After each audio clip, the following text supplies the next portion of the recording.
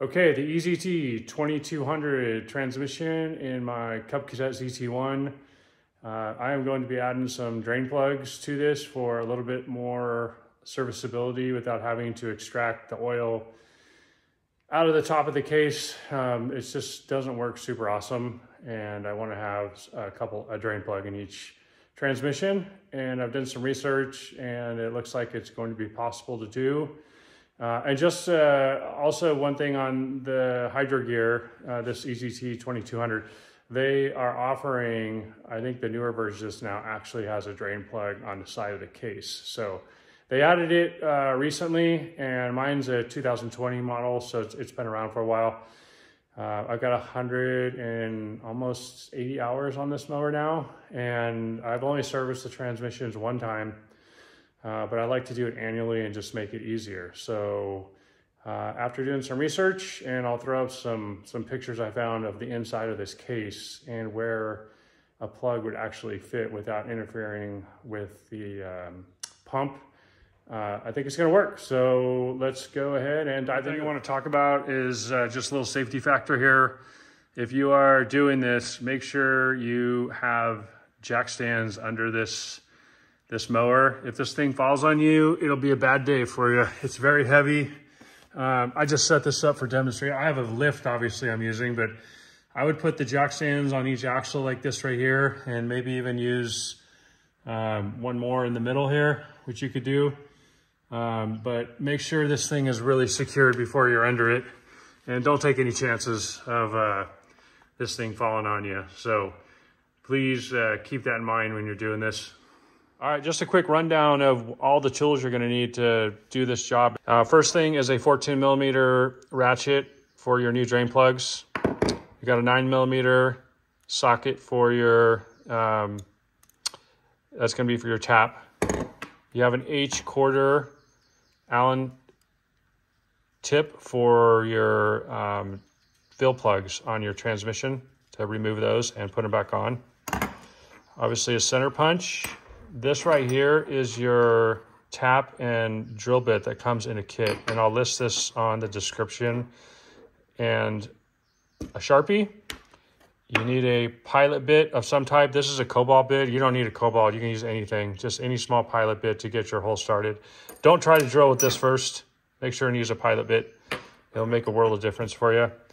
Uh, you have two um, these are the M12 by 1.25 magnetic drain plugs. And I'll list these also in the description where I got these. And if you want to go shallower, uh, you can also use this M12 by 1.25 Allen head um, bolt and it will not hang down as much. So it's just another option for you if you didn't want to use the magnet. I think the magnetic magnetic's the way to go because it's going to pick up any uh, metal, any metals, you know, that's floating around the oil possibly uh, with wear and tear down the road with this thing. It's only going to help. Uh, a hammer for your center punch. Uh, this is the funnel I was referring to that works really good to put in the top of the transmissions to refill them. Uh, you can source these on Amazon. Uh, I'll send. A, I'll put up a link with that. Uh, just a cordless drill, some good degreaser because it's going to get a little bit messy when you're doing this, and an oil pan just to drain some oil in. So with all those tools, you will be set up for success. We're gonna look under here. So there's two options here. And I, you can see where I've done the circles. Let me see here. It's really tight under here, sorry. Okay, so this would be the spot you would put it right here if you're gonna do it on the side of the case. If you're gonna do it under the case, you would do it right here. I'm gonna go from the bottom of the case. It'll drain more oil out. And I don't think uh, a plug hanging down here is going to interfere with it hitting anything because it's in between. You can see these two ribs here with the, the side cover bolts. So I'm going to go ahead and uh, mark my hole and then start drilling. And uh, I'm going to tap it with a, so I'm using an M12 uh, 1.25 thread bolt for this. Um, and I'll I'll show those here in just a second, what I've got with that. But So here we go. Uh, one other thing I wanted to talk about too is when you're, the whole location, so first of all, clean off your, your case really well.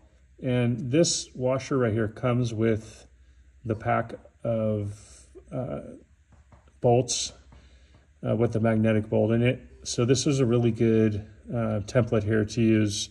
So basically what you want is you want this on a flat surface in the in the in the corner as most you know as close as you can get it to the corner. You don't want to put it over here. You don't want to put it right here. You want to put it as close to the corner, but be careful not to go too close and then this plug will not seat down completely. So it has to be seated completely to seal up. If you come over here too close and that thing's off kilter a little bit, it's not going to work. So uh, you have a little, little, a little bit of leadway here, like I said, but just, you know, anywhere right, like right in there, that's probably where I'm going to mark it. So it's, it's completely flat. And then I'll, I'll take my Sharpie, draw inside, and then use my center punch and start my hole. See where I got that hole lined up. Um, and then here's my washer just to put it in perspective. So that's, that's about dead center right there. But see, I have, I got a little, I got a little bit of wiggle room here. Not much, but um, just in case that hole's off just a hair. But when you do that center punch, um, make sure that thing's dead nuts centered. This is the most important part of this whole entire process. If you get this wrong, you're you could be in bad shape and have a leaky a leaky bolt. So take your time with this and just make sure it's completely on flat surface. Okay, I'm to start drilling this hole. I just want to just show, give an example of how how easy this is to drill and just how this metal is very soft. So just take your time. I mean, I'm going really slow and it, it's cutting through super, super easy. And it's gonna start coming out right away. So I'm gonna try to slide that pan over.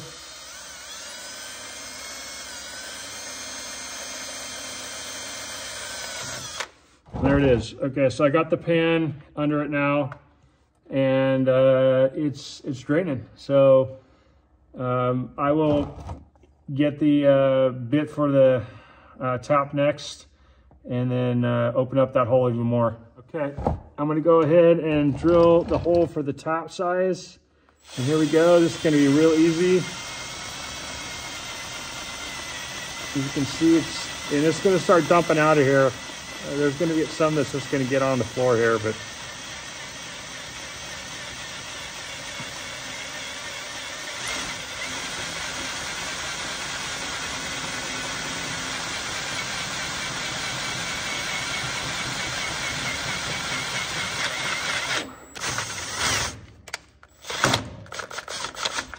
That's it. So you got to be careful because that bit, see how it grabbed a little? You just got to be careful not to uh, have it hit anything substantial. And now she's draining out. All right, I'm gonna start tapping this hole. Um, I don't have a handle for my, my tap here, but I'm just gonna use a nine millimeter uh, socket uh, with a ratchet. and I did this on the last one, it's fine. This, this metal is very soft here. So, I mean, really all you have to do is just start threading this thing in and it's gonna cut right into it. So it's a pretty easy tap. And you'll see, you just wanna start putting some pressure up in there and then start threading in. Just giving pressure inward and just start turning it. And it's gonna start cutting and the nice thing is there's oil actually dripping out of here, which is what you want. You want to have cutting oil. So you don't need to use any oil, obviously, because this is cutting the threads right now. But you can see how easy it, it cuts the threads.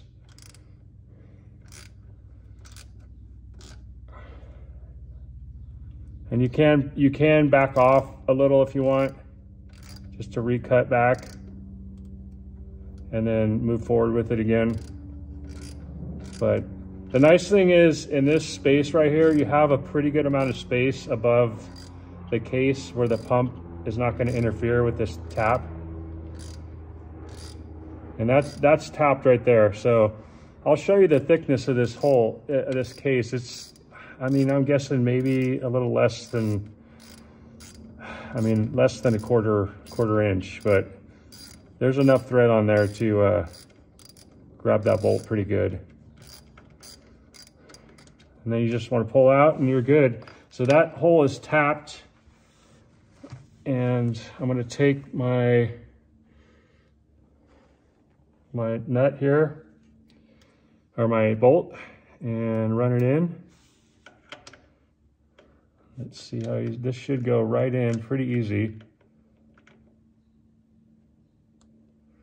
Okay, see this is so this is a good example of what when this is that's not grabbing super great. So I'm gonna run the tap through one more time, which is totally fine.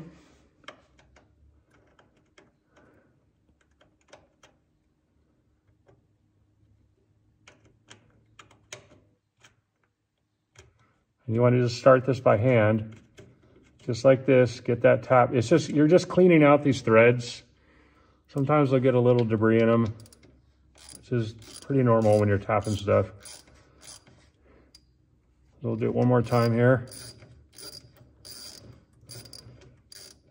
That's feeling really good.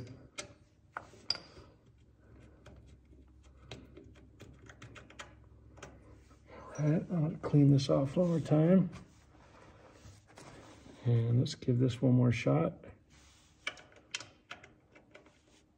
There we go. See how easy that, now that's what you want. See how easy that went in? So now you're threaded and uh, it looks like we're gonna make really good contact here. Um, flat surface. So we're, we're golden on this. So this that's exactly what you want right here. Uh, like I said, you don't want to be too far over here or too far over here. You want it right on that flat surface in the corner of this transmission. When you tighten this bolt down, it's now a 14 millimeter bolt here. Um, you don't need to go crazy tight, man. So it's getting a little tight there. I'm gonna go a little past snug, just like that, and you're good. Uh, you don't need anything crazy tight. If you go too tight with this, you will strip that hole out and then you're going to be in for a, a, new challenge to try to figure out something to plug that. So um, I'm going to go ahead, run a quart of oil through it, flush it out again, and then top it back off with a quart and a half. Okay, I'm just going to end up uh, draining this one quart to uh, flush out, and um, and then I'll refill with the uh, 1520. I had some uh, I had some leftover I think it's like 1540 I put in here just to flush any shavings that could potentially be in here. But you can see how much better it drains out. Oh, this is going to be night and day, man, from uh, that old way of uh, trying to suck it up from the top of the transmission. And I'll, uh, now I'll service them annually because it's such going to be such easy uh, process to do it.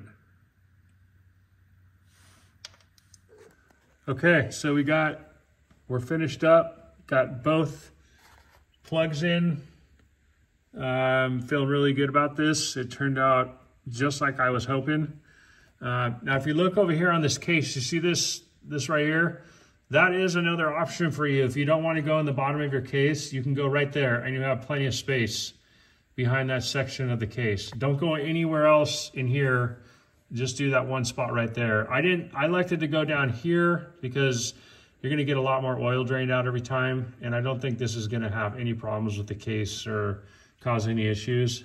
Um, but yeah, so there we are, man. We've got um, we got some some drain plugs in, and uh, now the next thing is just to purge the system and get all the air out. All right, let's talk about purging the system once you have everything filled up and uh, you're ready to mow again. It's pretty simple. The, only, the first thing you're going to do on the ZT1 on my model year 2020, you're just going to uh, pull these to put the transmission in neutral on both sides. And then you're going to start up the mower and you're going to run it. And then you're going to engage the handles here front and back like this while the, while the motor is running. And you're going to do that for about seven or eight times. You're going to shut the mower off and then you're going to release these uh, back to drive and on both sides here. And then when you do that, uh, you do the exact same sequence. Get in there, start the mower up, make sure you're obviously elevated off the ground and then run the mower and, and you're gonna go forward and backwards. Again, both of these at the same time, forward and backwards, you know, about four or five seconds each time for about eight or nine times. And then you'll have all the air purged out of your, your mower and you'll be good to go. And once you're done purging, uh, you want to definitely recheck your your fluid levels again. Obviously, where you filled the transmission up there, um, they're supposed to be like between a quarter. I think it's between a half and one inch down from the top fill plug. And I, I have a quart and a half in here right now, so I'm gonna recheck and uh, top off as needed. But make sure and do that. Uh, don't forget to do that after you get your purging done. Okay, that is a wrap. We got this thing done. Uh, one thing on the transmissions, after you're done purging all the air out of them uh, and you recheck them, uh, make sure and do that. And I had to add a couple ounces on each side. It was it was a quart and a half gets you pretty close. I think it's 1.75 in the manual.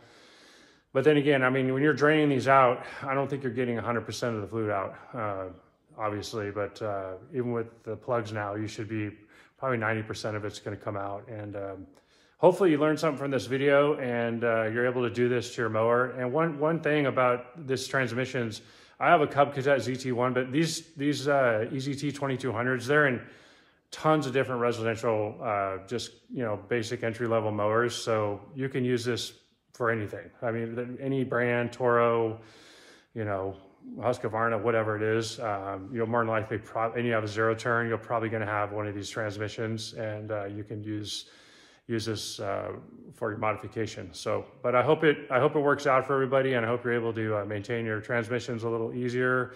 And I think it's going to extend the longevity of these two, just making it easier to uh, to drain and uh, refill back up uh, in a fraction of the time. So that's about it. That's a wrap. If you have any comments, please comment below. Um, if you like the video, give me a like. If you uh, want to subscribe to my channel, subscribe. I I throw up videos every now and then. I'm just a weekend wear hack guy, so but uh, it's just kind of fun to make the videos and uh, you know pass some information along when you can. Uh, hope everybody's well and has a great day. He gone.